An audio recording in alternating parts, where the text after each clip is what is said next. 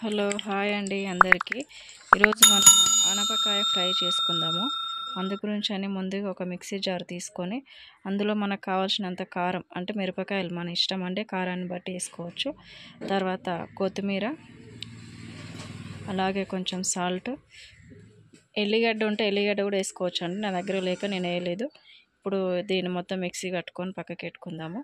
తర్వాత స్టవ్ వెలిగించుకొని ఒక మందపాటి గిన్నె పెట్టుకొని తగినంత ఆయిల్ వేసి అందులో మనం ఒక మనం కట్ చేసి పెట్టుకున్న ఉల్లిగడ్డ ముక్కలు వేసి మంట సిమ్లో పెట్టి మగ్గించుకోవాలండి.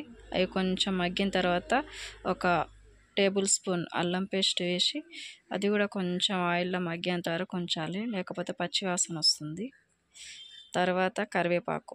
ఈ అల్లం పేస్ట్ కరివేపాకు ఒకదానంటే ఒకటి వేస్తే స్మెల్ బాగుంటుందండి. టేస్ట్ కూడా మనకి తేడా తెలుస్తుంది. నేను నార్మల్గా వేసే కర్రీ కంటే ఇట్లా అల్లం పేస్ట్ కరివేపాకు వేసుకొని చేసుకున్న టేస్ట్ ఇంకా బాగుంటుంది. ఇది కొంచెం మగ్గంగానే అలాగే మన ఆనపకాయ ముక్కలు వేసుకొని అవి కూడా ఒక ఐదు పది నిమిషాలు సిమ్లో పెట్టి మగ్గించాలండి మంచిగా. వాటిలో ఆనపకాయ ముక్కల్లో ఉన్న వాటర్ కంటెంట్ అనేది బయటకు వస్తుంది. మూత పెట్టి ఒక ఐదు నిమిషాల తర్వాత మగ్గిస్తే ఇగో ఇలా కొంచెం వాటర్ వాటర్ కనిపిస్తుంది కదండి మీకు? అట్లా వస్తుంది. ఇంకొక ఐదు నిమిషాలు పెట్టినా కూడా ఇంకా మంచి వాటర్. మనం వాటర్ పోసుకునే అవసరమే లేదు కర్రీలో. ఆనపకాయలో ఉన్న వాటరే సరిపోతుంది. ఇప్పుడు తర్వాత కొంచెం హాఫ్ స్పూన్ పసుపు.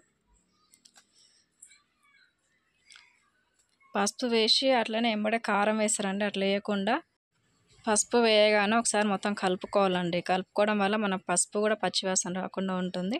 అలా కలుపుకున్న తర్వాత మనం మిక్సీ వేసి పెట్టుకున్న పేస్ట్ పచ్చిమిరపకాయలు కొత్తిమీర ఈ పేస్ట్ని వేసి కలపాలి. ఇట్లా వేసి కలుపుకొని ఇది కూడా ఒక ఫైవ్ మినిట్స్ మూత పెట్టి మగ్గించాలి సిమ్లో పెట్టి.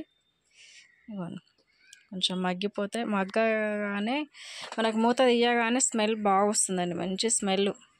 ఈ పచ్చిమిరపకాయల పేస్ట్ కొత్తిమీర ఇట్లా ఎల్లిగడ్డ జీలకర్ర వేసి పెడతాం కదా. స్మెల్ బాగుంటుంది.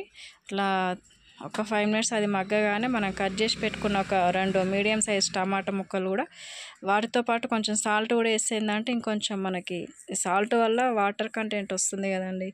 దానివల్ల మంచిగా మగ్గుతుంది. అట్లా ఒక ఫైవ్ మినిట్స్ మగ్గగానే మనకు కావాల్సినంత ఒక నేనైతే చాయ్ గ్లాసుల్లో సగం నీళ్ళు పోసుకున్నాను అండి. మరీ ఎక్కువ కూడా పోయలేదు. అవే సరిపోతుంది. పోయకుండా సరిపోతుంది.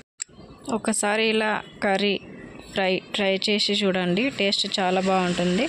ఆనపకాయ అంటే ఇష్టం లేని వాళ్ళు కూడా ఇష్టంగా తింటారు. ఓకే అండి. నమస్కారం.